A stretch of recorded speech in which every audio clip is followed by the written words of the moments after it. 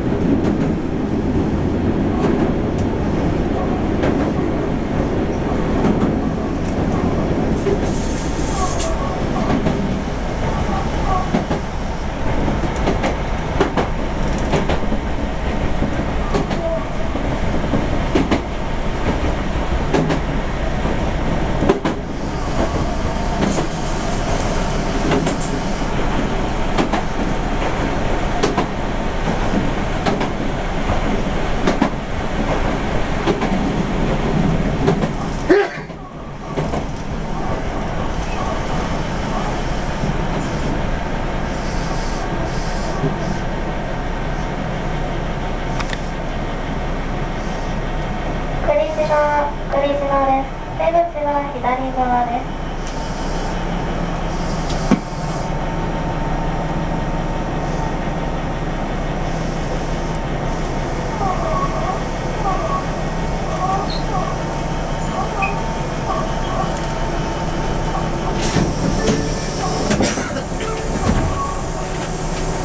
扉が閉まります。ご注意ください。